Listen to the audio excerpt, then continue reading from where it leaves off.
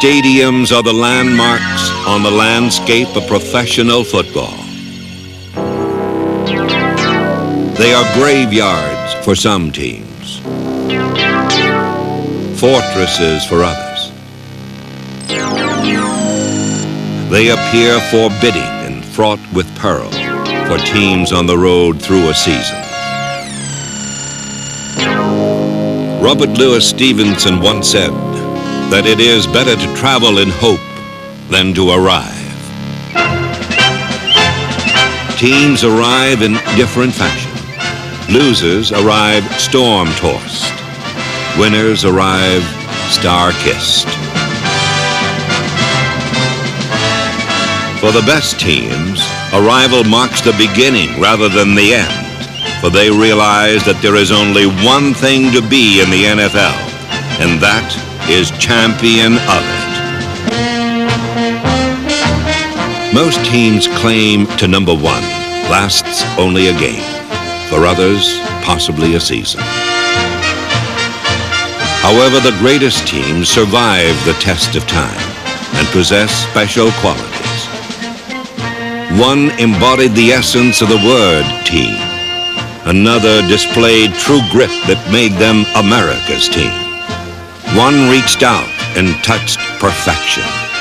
Another endured for all reasons and all seasons.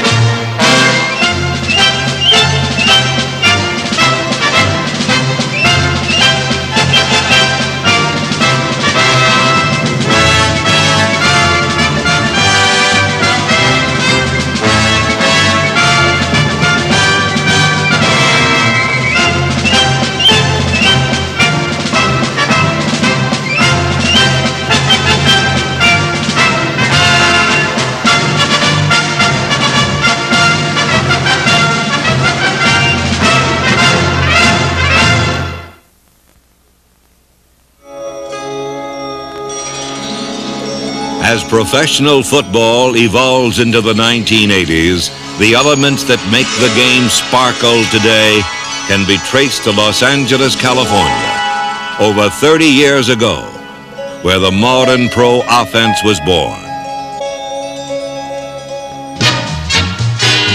Offensively, the Los Angeles Rams were decades ahead of their time, and in 1950 were the most explosive team in the history of the sport.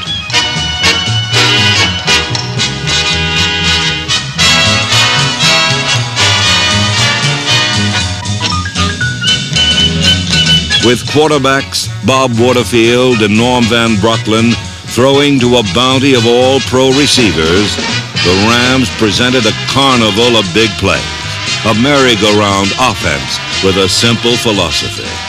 To hell with how many points the opposition scores, we'll just score more. In one season, the Rams scored 466 points, 39 a game a pinnacle unmatched by any NFL team before or since. Ironically, the Rams did not win the league title in 1950.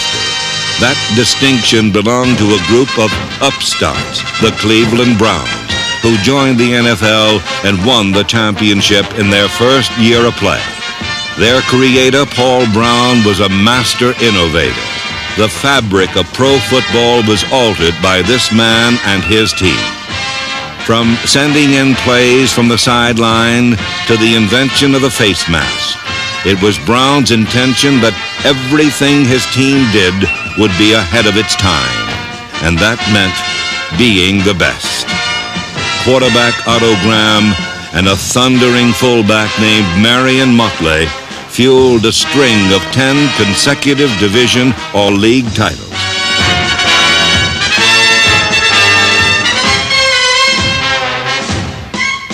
The Browns dominated much of the 1950s, then gave way to a team that had been losing as much as the Browns had won.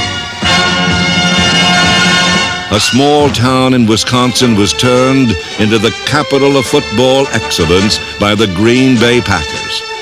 While there was talk of new formations, momentum, and mystique, the Packers went back to basics and proved the game was still one of blocking and tackling. They were a mix of old men reborn and golden boys with promise, blended by Vince Lombardi, who demanded total dedication from his team and got it. The Packer offense was not explosive. Rather, it was a power game, not built on deception, but on precise, devastating execution of a handful of plays.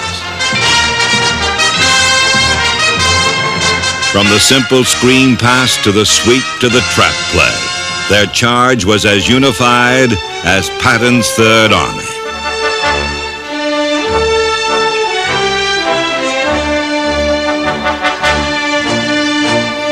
The Packers preferred the feel of a power sweep to the arc of a long pass. But Green Bay pass plays were carried through with the same lean and lethal style.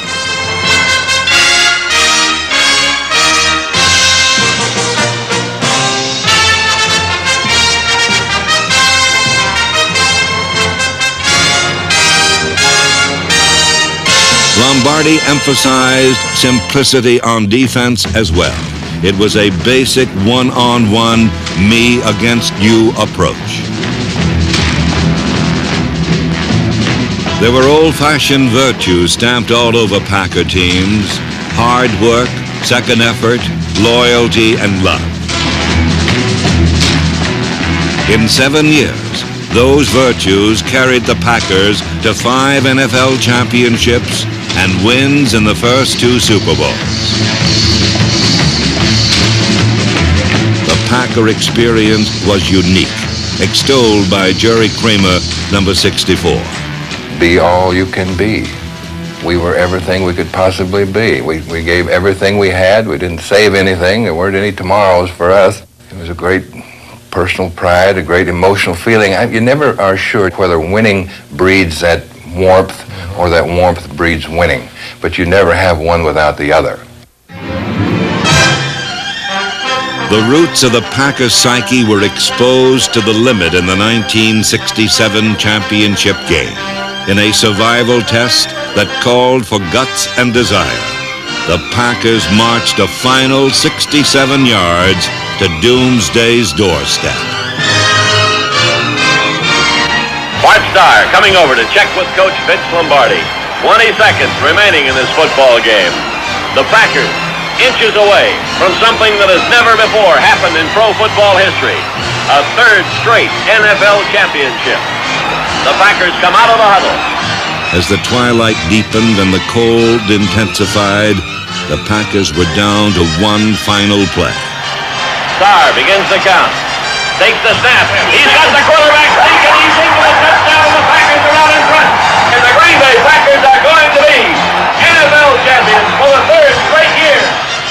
Had the Packers won the game easily, they would have been remembered as the team of the 60s.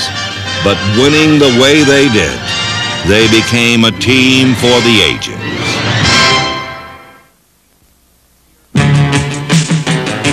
In an era where teams ascend and plummet like comets, the Oakland Raiders have remained a fixed star. 17 straight winning seasons, nine division titles, two Super Bowl championships. From top to bottom, managing general partner Al Davis designed the blueprint for the organization. While Davis patterned Raider uniforms after the Army football team, the Black Knights of the Hudson, he shaped their image after Blackbeard the Pirate.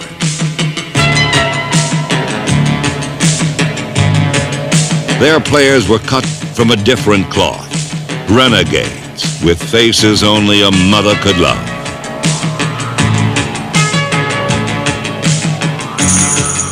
The Raiders cultivated, then reveled in their ominous image. We were the black colors, the skull and the crossbones, and you know we didn't represent everything that was good. So we probably led the league in boos, you know, B O O boo, uh, because everywhere we'd go, you know, we'd go on the road and boo, but it was a means of acceptance. And the worst thing for your football team to go out on the field would be to complete silence. It's like there's no one there, and and we kind of did encourage that, and the players kind of like, you know, that, you know, everyone's against us, you know, we have to band together. Nowhere was this thinking more evident or more persuasive than on defense, where the motto was, might makes right.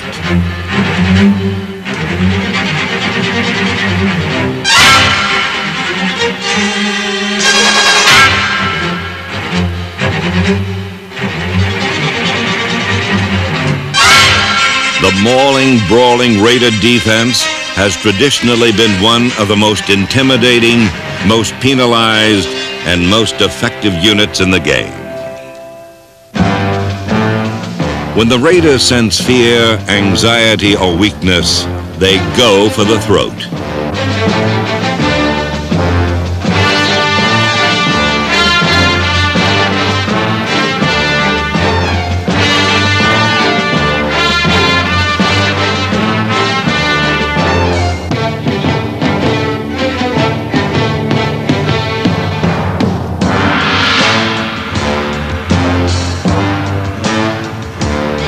Beneath this unwavering, ferocious image was a compelling, flexible philosophy. This is a goal-oriented organization, and our goal is to win, to be on top, to maintain our level of excellence, so that everything we do has singleness of purpose. If it's going to interfere with our winning, we're going to make a change. So that we don't, we're not slaves to routine. Al Davis has a, a saying that I think a lot of us has, have picked up. We don't say never, we don't say always. To us, it's much more important to be right at the moment than it is to be consistent. Al Davis dresses in the past, but thinks in the future. He is called the genius, and his signature is written on every offensive play. In the deeply rutted path of conventional football, he paved some artfully new directions. Davis disdained possession football for an all-out assault on the end zone. Every play was designed to reach the scoreboard.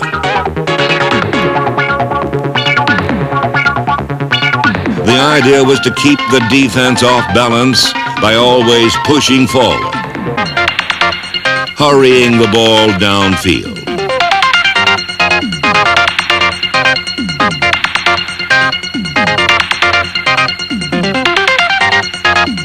The Raiders became the second highest scoring team over the last 20 years by developing an offense that made the long pass as reliable a weapon as the off-tackle play.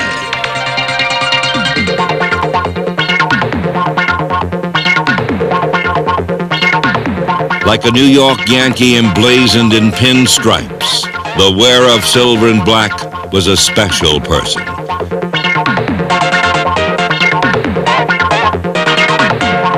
In their search for these special players, the Raiders operated as lone wolves, ignoring talent pools and scouting combines.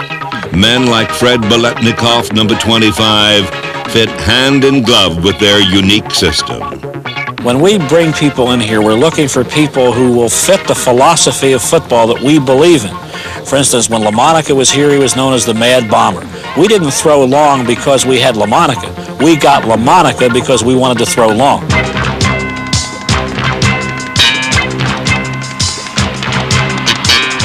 While most teams employed the bomb only as a desperate measure, the Raiders used it as a matter of routine. They were the first team to extensively and effectively utilize setbacks to complement receivers in long-distance patterns. Oakland knew well that linebackers were ill-equipped to cover running backs in the open field.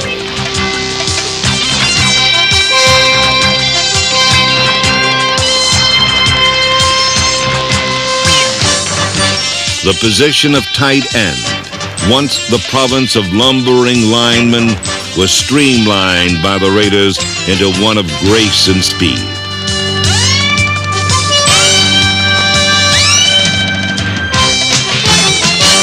Oakland also tinkered with old notions about offensive linemen and came up with a lineup of giants. Many chuckled when they transformed the huge college All-American tackle named Gene Upshaw into a guard. As usual, the last laugh came from the Raiders. The Raider running game effectively counterpointed their ambitious passing philosophy.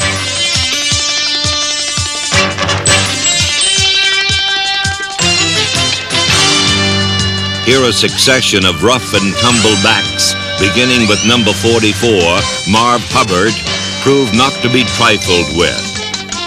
No fancy feints and jabs here, just heavyweight right hands under the heart.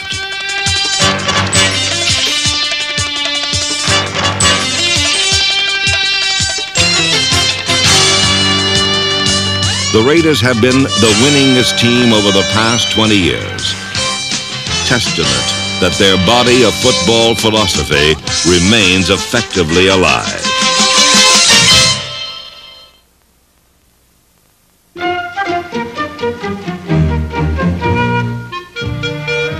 The Raiders were a team of character and characters, and despite their reputation as an ill wind, there were some breezy, free spirits.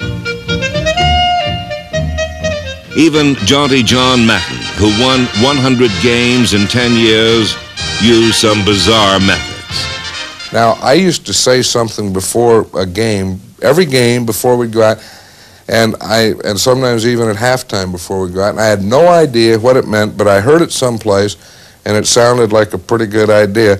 The last thing I'd say was, "Don't worry about the horse being blind. Just load the wagon.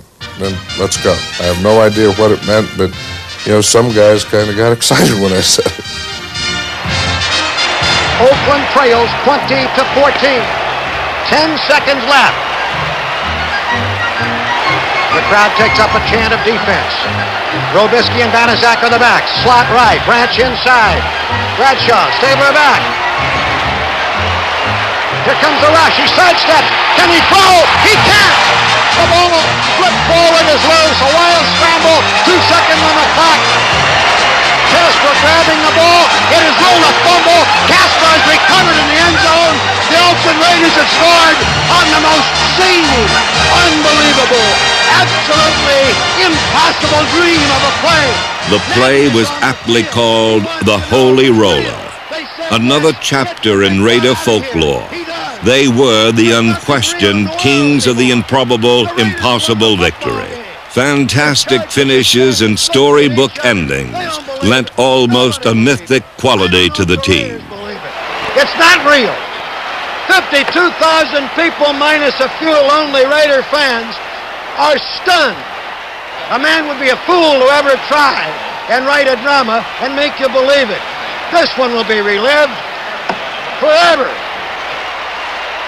That's one thing that we'd always taken great pride in, that when we were behind and we had to move the ball and we had to get something done, that we'd do it. When you get in a pressure situation, there's no one that you'd rather have involved in that play than Kenny Stabler. He has the uncanny knack of putting a ball uh, between people and between hands and, and just being able to slip things in there from all different angles, and that's exactly what he did.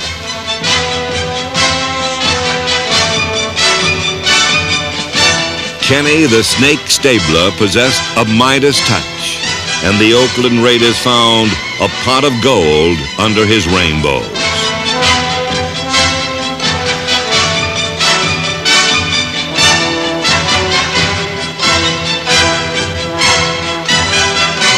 The greatness of Stabler was not measured by statistics, though they were impressive.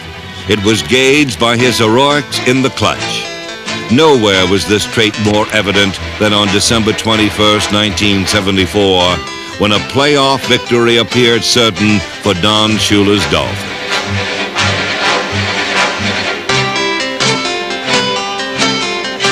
Here he is, fading, looking, looking, looking. He's under the gun. He's caught, he throws.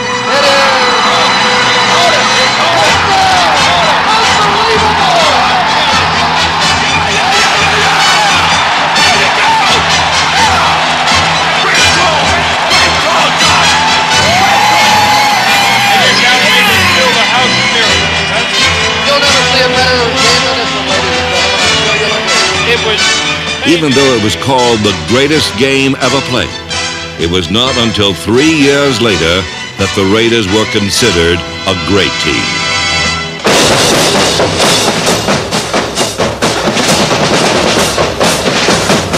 From the Rose Bowl Stadium in Pasadena, California, it is Super Bowl 11. This is Bill King with a welcome. There are no substitutes for a world's championship. The only thing the Raiders had never won. Here in the canyon at Arroyo Seco. This was their albatross, the blot on their spotless record. But even this flew away and was erased dramatically in Super Bowl 11 against the Minnesota Vikings. The Raiders closing in on the Super Bowl championship. Francis back to pass. Throw the sideliner. Picked off. It's going to be a touchdown. Willie Brown.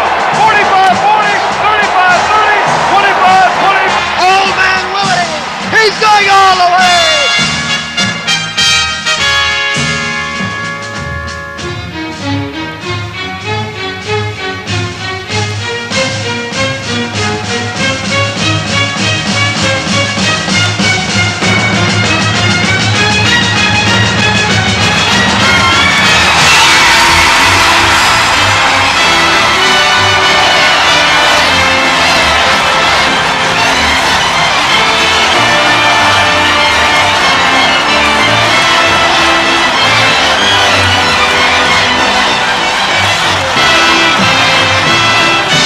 Victory elevated both the Oakland Raiders and John Madden to pro football's most exalted station.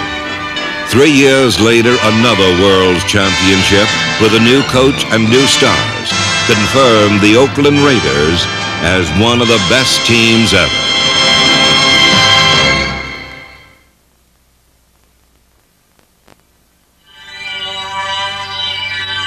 Burning bright beneath the North Texas sky, in the heart of the Lone Star State, is a galaxy of extraordinary football players.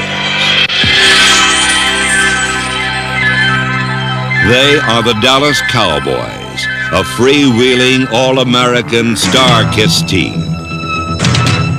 Motivated and disciplined by the genius of a coach named Landry. The Cowboys are pro football's glamour team. Dynamic, progressive, and spectacular.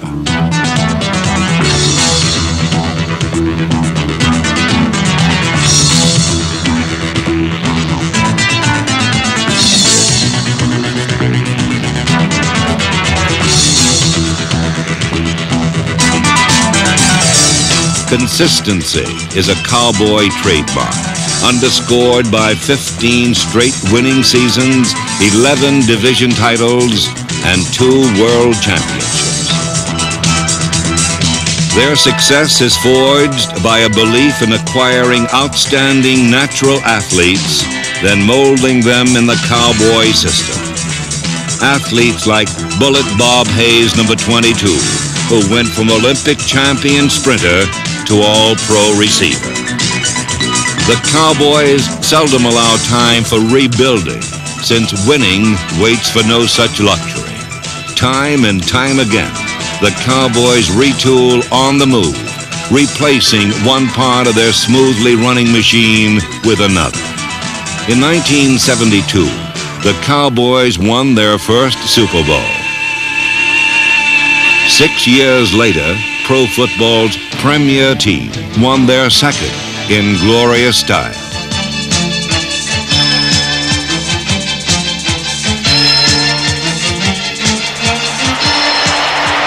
Roger goes deep across the middle, way downfield, and Butch Johnson caught! Touchdown! A sensational diving catch by Butch Johnson, the Cowboy! A world championship is the ultimate achievement in any sport. But Coach Tom Landry has learned more along the way to the Super Bowl than by winning. But I don't think I would enjoy my profession if I knew I was always a winner. I think it's really the chase that's important. It's the challenge uh, that you're after, much more than the winning.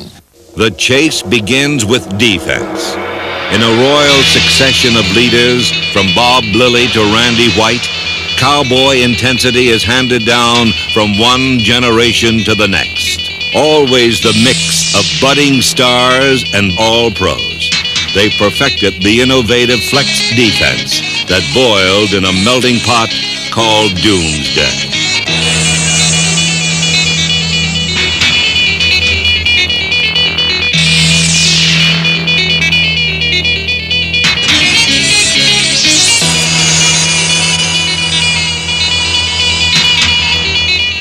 In like manner, the cowboy offense is intricately designed. It looks like confusion to anybody who doesn't know much about the game because it looks like it's just 11 men attacking each other at one time. But as you learn the game, it becomes very scientific, especially in professional football. It becomes very intriguing and exciting.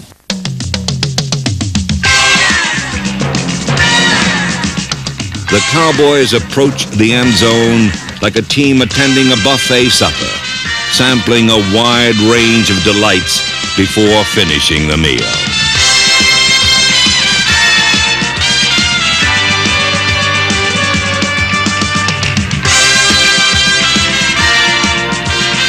Other cowboy innovations include reviving the shotgun offense, not used in 15 years.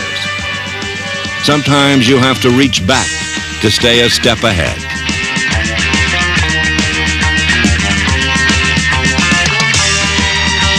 What makes the Cowboys so appealing is what separates the good teams from the great ones. The ability to come from behind to win. Shotgun formation, Staubach looking into the face of a four-man rush, throwing, caught, springs. Go. Touchdown. Touchdown, Ron Springs. Given a win or else situation in the closing moments, no team was ever better. You gotta love them. I mean, you gotta love the Cowboys. They're the most exciting team in the NFL. They can pull it out. 42 seconds left in the game. Redskins lead by six. This is a killer. Second down and eight. From the eight-yard line. No shotgun this time. Staubach throwing in the end zone. Tony Hill! Touchdown!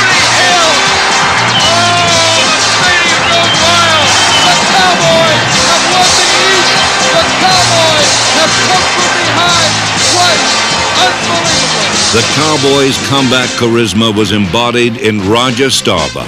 When he bid his grand farewell to the game, there were doubts that his magic could be replaced. But Danny White, who had watched Staubach miracles from the sidelines for six years, had that same penchant for saving lost causes with last-second heroics. Comes the blitz again. Danny back to throw into the end zone. Caught! Touchdown! From Bob Hayes to Drew Pearson, from Bob Lilly to Randy White, and from Roger Staubach to Danny White, another cowboy transition was complete. It's not so much that the Cowboys win football games, it's the manner in which they win that makes them one of the best ever.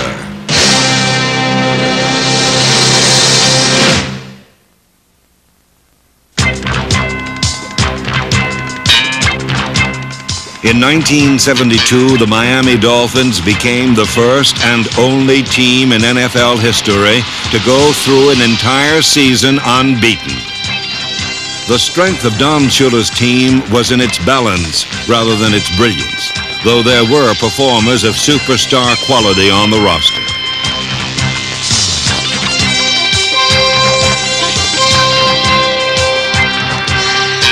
Basically, Miami ran a conservative, straight-ahead offense that featured number 39 fullback Larry Csonka.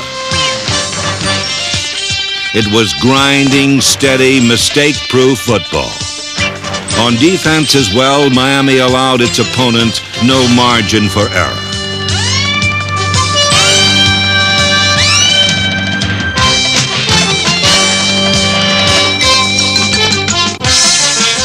Before the coming of Don Shula, the Dolphins' biggest name was Flipper, who frolicked in a tank in the east end zone of the half-empty Orange Bowl.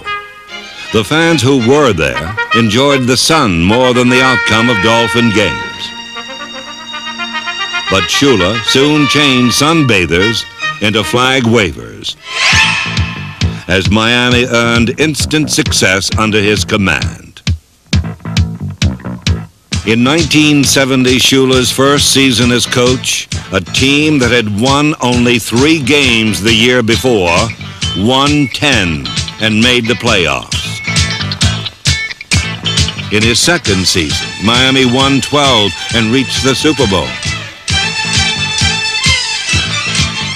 In 1972, Shula's third year, the Dolphins were literally unstoppable, winning 17 straight, including Super Bowl VII. Brainy Bob Griese was the Dolphins' leader on the field. He quarterbacked an offense that broke a 36-year-old record to become the greatest running team in NFL history.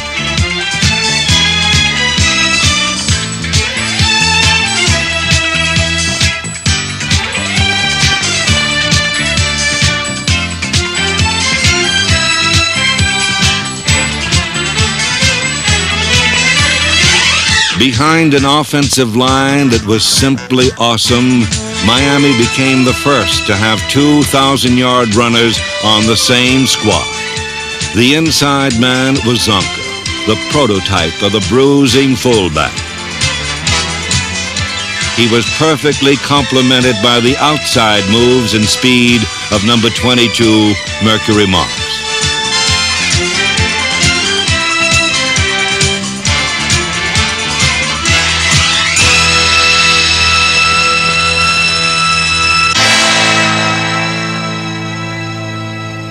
An irony of this perfect season was that Bob Griese was lost in the fifth game with a broken leg.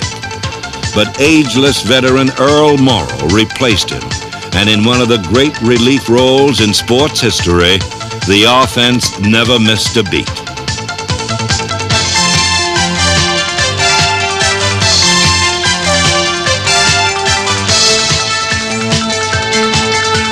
Miami's famous no-name defense also came to the rescue, performing brilliantly and often putting points on the scoreboard themselves.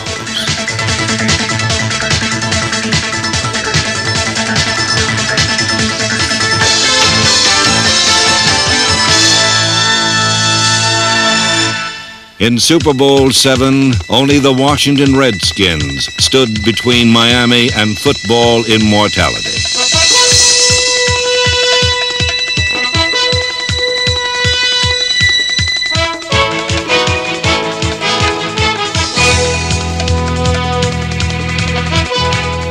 The Dolphins defeated the Redskins and ended the year with 17 wins and no defeats. For one season, no team was ever better than Don Shula's 1972 Miami Dolphins.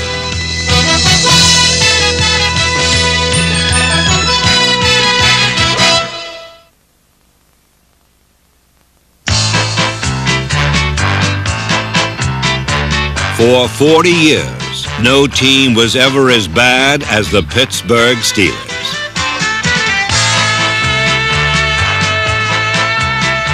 Their offense looked as if it were directed by the Marx Brothers. And on defense, they went down like paper soldiers in the wind.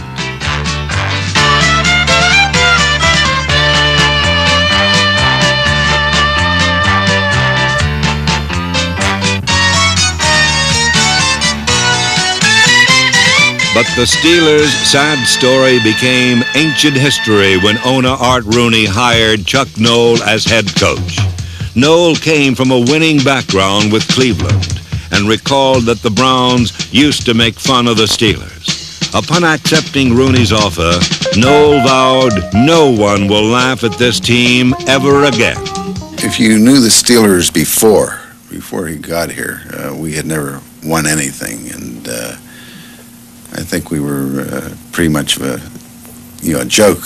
When Coach Noll got here, it's sort of like uh, Moses leading the people across the Red Sea. In just four years, Noll rebuilt the team, and in 1972, the Steelers made the playoffs for the first time. For connoisseurs of destiny, it was a day to remember. Bradshaw running out of the pocket, looking for somebody to throw to, fires it downfield. And there's a collision. Got, caught out of the air. The ball is pulled in by Franco Harris. Harris is going for a touchdown for Pittsburgh. Franco Harris's immaculate reception marked the beginning of Pittsburgh's remarkable rise to power. In the following years, they would win more games in more different ways than anyone ever thought possible.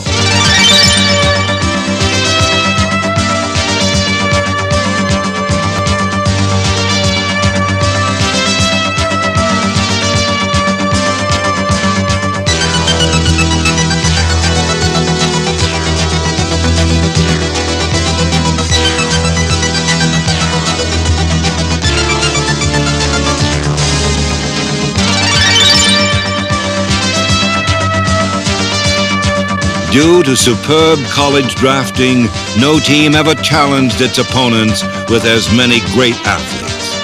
Thirteen Steelers have been named All Pro.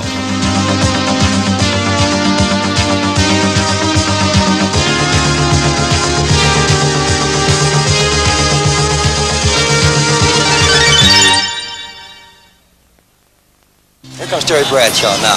Where's that? Terry, Terry, Terry. Good luck today, baby. Okay, Franco. Watch yourself. See you later. Okay. The NFL's number one pick in 1970, Terry Bradshaw, experienced an erratic rookie season. But Noll never gave up on the talented youngster. This was paramount, for Pittsburgh had a history of impatience with young players.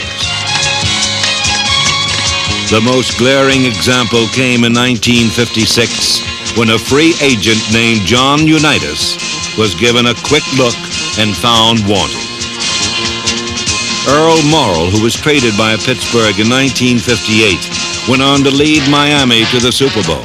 Len Dawson, the Steelers' top draft pick in 57, was gone by 59. And Jack Kemp, who won championships for Buffalo, was cut in the mid-50s. But Bradshaw was allowed to mature, and he gave Pittsburgh stability at quarterback for the first time. He also had one of the most powerful throwing arms ever seen, and the Bradshaw bullet became legend in Pittsburgh.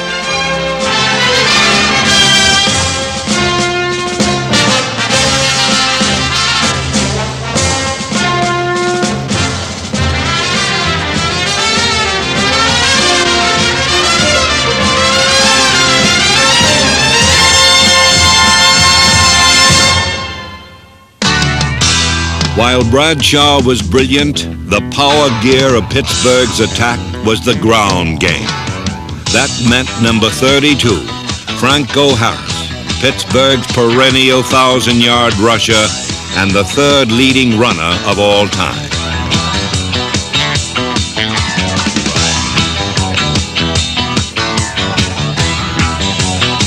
Bradshaw's arm and Harris's flying feet were just two elements in the plentiful package of Pittsburgh talent. Another was the most awesome defense in the entire NFL.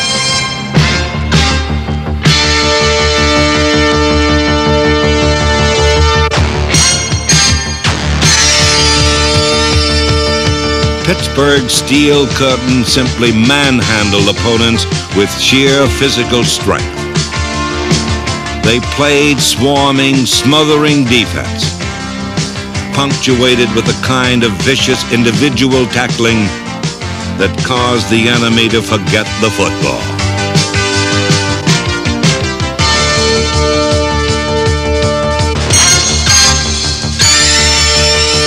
No defense in football could equal Pittsburgh's invincible steel curtain.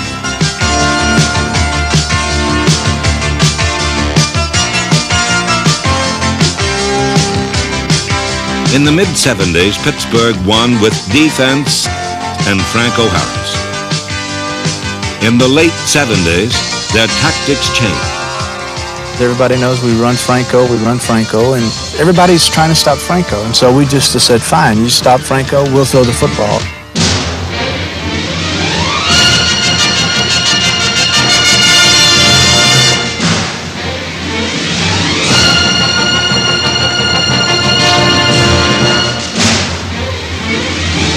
Charlie Bradshaw's targets were Lynn Swann and John Stallworth, number 82. A Barnum and Bailey act in cleats, the most dangerous pair of pass catchers in the league.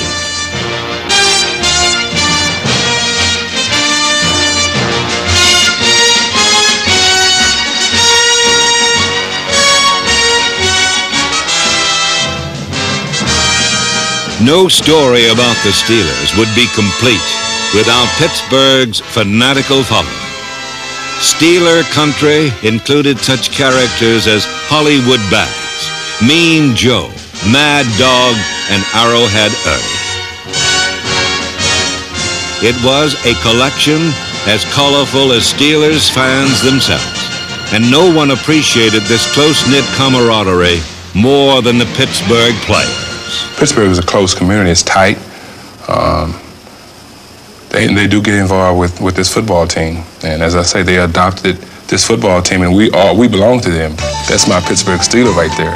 They're really tremendous fans, and they, they will not be outdone by any other National Football League city. You want to see the killer for Cleveland today? Right here. We got the Italian That's whammy. the big red pepper, Italian whammy. We put it on. That means Cleveland can't do nothing. NFL films never seen a red pepper. That's right. Give him the red pepper. And, and I tell you, wait a minute. Here's here's the kicker. This you got to see. I know you ain't never seen this in your life. Here's the man right here inside. There it is. Little Italian hunchback. That's a killer. But the real killer was the terrible towel. It posed an insurmountable obstacle for Pittsburgh's opponents.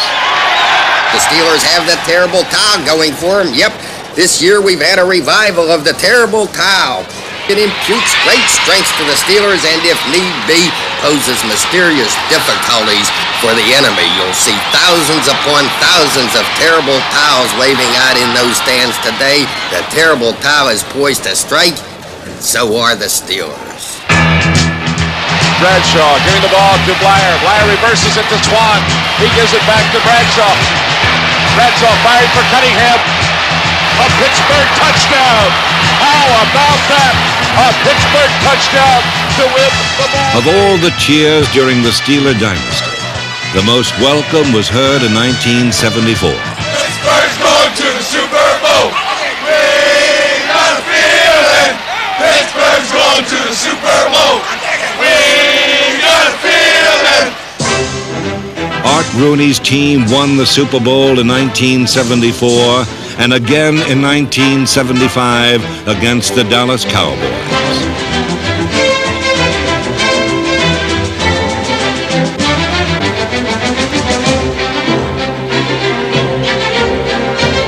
Two years later, they defeated Dallas again for Super Bowl win number three.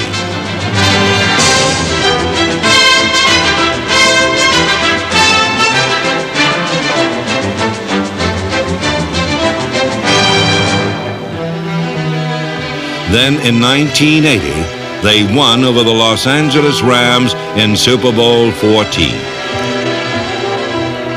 The Pittsburgh Steelers made up for 40 years of defeat with a decade of victory. A decade unequaled for sustained excellence.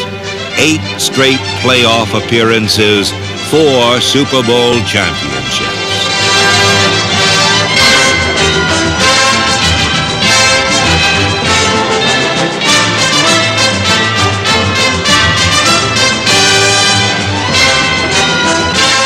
The Pittsburgh Steelers of the 1970s. The best team ever.